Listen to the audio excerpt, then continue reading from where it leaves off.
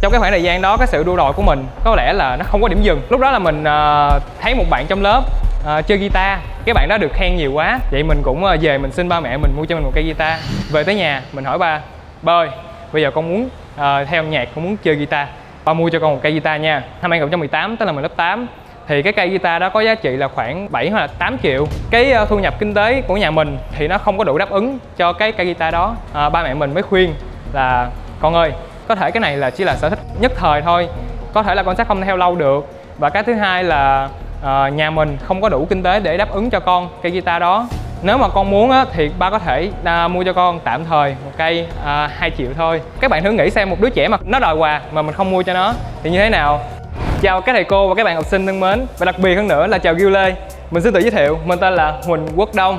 Mình đến từ lớp 11A1 trường trung học phổ thông Nguyễn Hiền mình đứng trên một dũng khí hôm nay để mình kể về cái sự thay đổi cũng như là quá trình trưởng thành của bản thân mình. Trước kia bản thân mình trong quá khứ à, đã là một cái con người rất là ích kỷ. Mình có một cái tôi rất là cao một cái cá tính nó mạnh và cái sự sốc nổi đó đã làm cho ba mẹ mình rất là buồn. Trong cái khoảng thời gian đó cái sự đua đòi của mình có lẽ là nó không có điểm dừng. Lúc đó là mình uh, thấy một bạn trong lớp uh, chơi guitar cái bạn đó được khen nhiều quá. Vậy mình cũng ờ, về mình xin ba mẹ mình mua cho mình một cây guitar. Về tới nhà mình hỏi ba ba ơi bây giờ con muốn uh, theo nhạc con muốn chơi guitar. Ba mua cho con một cây guitar nha. Năm 2018 tức là mình lớp 8 thì cái cây guitar đó có giá trị là khoảng 7 hoặc là 8 triệu. Cái uh, thu nhập kinh tế của nhà mình thì nó không có đủ đáp ứng cho cái cây guitar đó. Uh, ba mẹ mình mới khuyên là con ơi có thể cái này là chỉ là sở thích nhất thời thôi. Có thể là con sẽ không theo lâu được. Và cái thứ hai là uh, nhà mình không có đủ kinh tế để đáp ứng cho con cây guitar đó. Nếu mà con muốn á, thì ba có thể à, mua cho con tạm thời một cây à, 2 triệu thôi. Các bạn thử nghĩ xem một đứa trẻ mà nó đòi quà mà mình không mua cho nó thì như thế nào? Mình rất là tự ái mình giận mình giận dỗi. Mình tỏ thái độ nó không được hay lắm với ba mình mình giận ba à, khoảng một tuần. Sau đó thì ba mới thấy là phiền quá mình phiền quá thì quyết định là mua cho mình một cây guitar 2 triệu để mình à, tập chơi chưa dừng lại ở đó. Chừng 3 đến 4 tháng sau, mình mới thấy cây guitar này nó không có đủ đáp ứng cho mình nữa. Mình lại thấy bạn trong lớp đó, bạn có cây guitar mà cắm dây, chơi được cái âm thanh trên loa rất là hay. Thì mình lại nổi hứng cái cái cái đua đòi của mình lên. Mình lại đi nói với ba là, ba ơi, con thấy cây guitar này nó, giờ nó không hợp với con nữa. Bây giờ con muốn một cây nó xịn hơn. Con muốn một cây guitar mà có thể cắm dây vào. Thì cái tầm giá mà lúc đó mình yêu cầu ra nó thậm chí là nó còn cao hơn ở mức 7 8 triệu. Là cây guitar đó chính xác là 13 triệu à, 200 nghìn đồng. Ba mẹ mình đã không không còn khuyên nhủ nữa mà đã dùng những cái lời nói con đang đòi hỏi quá đáng. Nhà mình không thể đáp ứng cho con được thì một lần nữa à, mình lại tự ái mình lại giận ba mẹ. Nhưng mà giận thì cũng không làm được gì cho nên là về sau thì mình dần lãng quên cái chuyện đó. Thì đó là cái sự kiện thứ nhất uh, sự kiện thứ hai. Sau khi mình đã được mua đàn rồi đó thì mình bắt đầu tham gia một cái ờ, uh, band nhạc nhỏ. Mình sẽ có những cái lịch tập uh, buổi chiều nó sẽ trái buổi với uh, giờ đi làm của ba mình. Thì không thể nào mà chở mình đi được.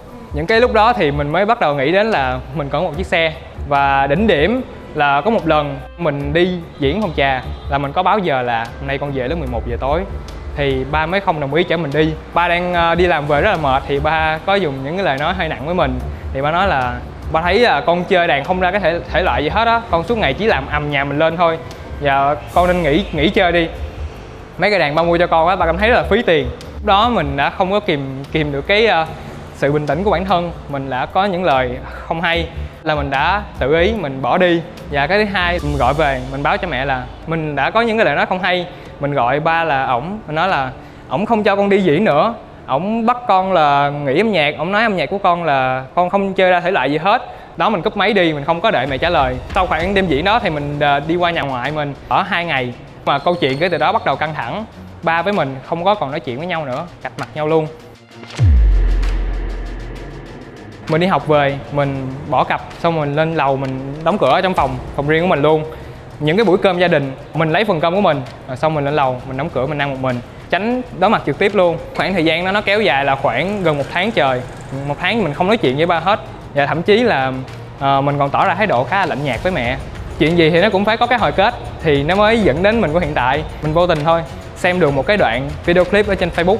Ở trong cái đoạn đó thì nó có một cái trường hợp rất là giống mình. Cái bạn đó thì uh, muốn cũng theo đuổi đam mê mà gia đình lại không không có đáp ứng đủ điều kiện. Nó đã có những cái lời nói thái độ rất là giống thật sự là giống mình luôn à, làm cho người ba đó rất buồn. Rồi người ba đó phải gọi là chạy đủ mọi đường để đáp ứng cho nhu cầu đó. Dẫn đến là ông bị ờ, suy nhược xong rồi ờ, qua đời. Nó đã đánh động vào trong cái tiềm thức của mình. Mình đã dành một đêm đó mình suy nghĩ lại liệu bản thân mình làm vậy là đúng chưa? Mình chỉ suy nghĩ cho bản thân mình thôi. Mình chỉ biết đua đòi mình tìm đến mẹ. Thì mình hỏi mẹ là bây giờ con gây ra lỗi vậy với ba đó. Con suy nghĩ nhiều rồi và con cảm thấy rất là hối hận. Thì con không biết phải làm sao để uh, giải quyết cái chuyện này con cũng muốn xin lỗi ba nhưng mà không biết phải làm sao hết. Thì mẹ mới nói với mình là bây giờ cái quy tắc để con xin lỗi một người và đặc biệt đó là ba con. Cái thứ nhất con cần đó là sự chân thành. Con muốn điều gì con muốn ba tha thứ ra sao con thấy hối hận như thế nào thì con cứ nói. Và cái điều mà con phải lưu ý phải hứa với ba là không được để nó tái diễn thêm một lần nữa. Mình à, quyết định là nghe theo mẹ mình lấy hết dũng cảm nhưng mà mình lại chọn cái phương án là mình nhắn tin với ba. Mặc dù là cả hai ba con mình ở trong nhà mà nhưng mà mình lại đợi ba đi xuống dưới nhà. Còn mình ở trên lầu thì mình lại nhắn tin cho ba thay vì mình gặp trực tiếp để mình xin lỗi. Mình cũng nói ra hết những cái tâm tư nguyện vọng của mình. Mình cảm thấy hối hận như thế nào. Mình cảm thấy uh, mình biết ăn năn về cái sự đòi hỏi của mình nó đã ảnh hưởng rất nhiều. Uh, nó làm cho thành tích học tập của mình nó lao dốc rất là nhiều. Uh, đồng thời là làm cho ba mẹ thất vọng rất nhiều. Sau khi mình xin lỗi ba thì à, ba cũng chấp nhận mình. Tại vì ba nói với mình là ba mẹ chưa bao giờ chán ghét con hay là ghét bỏ con gì hết. Ba mẹ sinh ra con ở trên đời này tức là ba mẹ rất yêu thương con.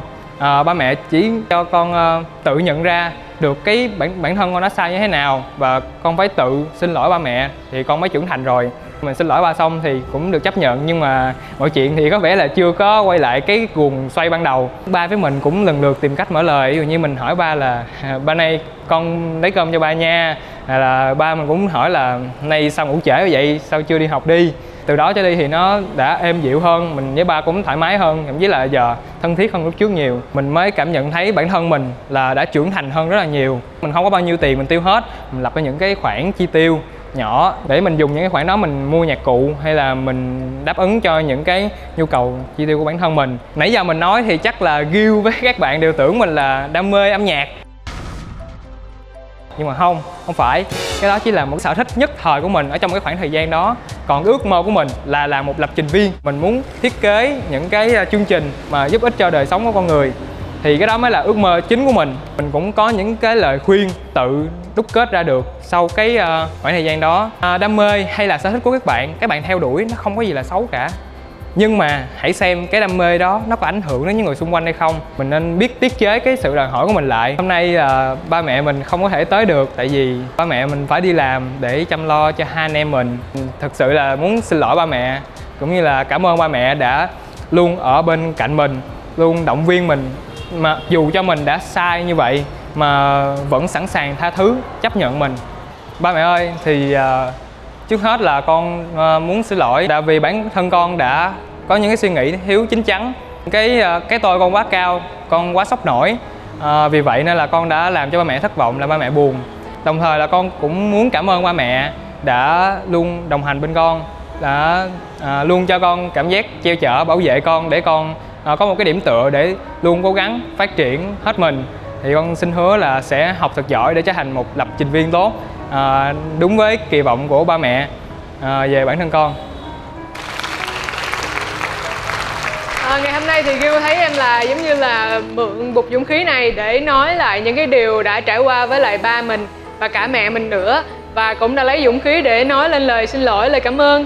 Ngoài ra em còn muốn gửi điều gì tới ba mẹ mình không? Thực ra thì mình vẫn chưa tặng được món quà nào thật sự nó ý nghĩa cho ba mẹ vì vậy cho nên là hôm nay mặc dù là ba mẹ không thể xem trực tiếp ở đây được nhưng mà có thể là xem lại ở nhà thì mình muốn gửi cái món quà bằng chính cái âm nhạc mà mình đã trải qua sẽ gửi những cái uh, năng lượng tích cực cũng như là cái tình cảm của mình cho tất cả mọi người và đặc biệt là ba mẹ mình.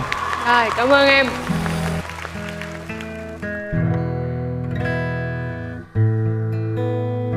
khi xưa ba bé hơn đàn nghe guitar sung lên không bao giờ sao lên.